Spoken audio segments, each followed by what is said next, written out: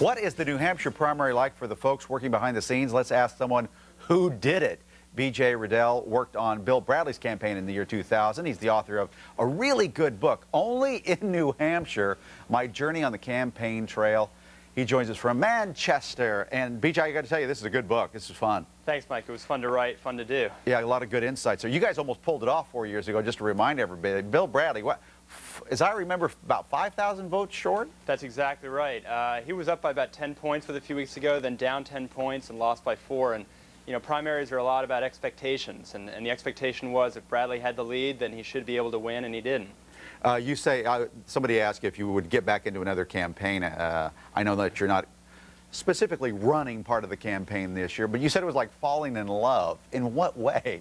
It's, it's, uh, it's like falling in love because you get behind the candidate, and even when the candidate's poll numbers drop, like we've seen Dean recently, I guarantee you those folks out in the field are still working just as hard, if not harder. Yeah. I mean, they put their lives on hold to do this work, and that's what I did for six months, and my cohorts on the campaign. So you really have to fall in love with the candidate and the idea of serving that candidate in every way. I tell you what, the people of New Hampshire really become experts on primaries. I don't think the rest of us around the country know what really goes on up there. We know there's wheeling dealing. And our campaign guy, Carl Cameron, says, you have got to be connected or you don't have a chance with the insiders in New Hampshire. Did you learn that? Um, I unfortunately did not have a lot of connection to insiders per se. Uh, a lot of the state reps and state senators had already endorsed Gore long before. So we had to go into the grassroots and find people who honestly had never really been involved in campaigns and try to inspire them the way we had been inspired and it almost worked. So it just goes to show that every person matters, and sometimes a supermarket clerk will work much harder for you than a state senator. Isn't that interesting? Yeah, how do you, when you run across somebody who says they're undecided, what, what kind of mode do you go into? Oh, I'm going to win them over by doing what?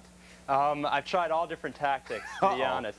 Uh, in tactics, in terms of my personality, you can't be fake around New right. Hampshireites. They've seen this every four years for as many years as they can remember. So you have to uh, walk in on their turf and approach them in their homes and say, this is why I'm doing it, and this is why I want you to consider doing it too. I never tried to tell people this is what you need to do right. or must do. I just encouraged them to consider it, knowing that over time I thought Bradley would prevail. It gets kind of folksy, too. You talk about staying with that family. I think you're staying again with them this, you know, four years later, the same family. So that's kind of interesting, too. But let's talk about this year's race. Sure. Edwards, uh, or, or Clark, rather, it seems like he was doing so well. Do you think he was hurt by how well somebody like John Edwards did in Iowa, got that great bounce, so much so that he's really concentrating on uh, New Hampshire. That is a great point. Uh, uh, really, Clark started too late to really focus on Iowa, which involves a lot of organizational skills, so he put all his eggs to start for starters in New Hampshire. He also has good organizations in some other states too. But with Edwards and Kerry doing better than expected, it became instead of a two-man race between Clark and Dean, it became a four-man or five-man race yeah. because of Edwards and, and Kerry's success. BJ, we've got to take a break here, but hang around here because I want to get some uh, predictions out of you and talk about this electability issue. We'll do that in just a second. Uh, plus, as we continue here on Fox and Friends, custody concerns over Michael Jackson's kids. What's really going on in that case? We'll talk about that a little bit and take you back out to the Golden Globes and talk about bubble wrap and Congressman from Tennessee, Harold Ford Jr. is going to be here. We have so much planned. Yeah, but I can handle the stress. Coming right back. We are back with B.J. Rudell up there in uh, New Hampshire. He wrote this book, only in only in New Hampshire can this kind of stuff happen. Okay, you've been around the scene now for a little while, even though you're a, a young man. What is going to happen on Tuesday?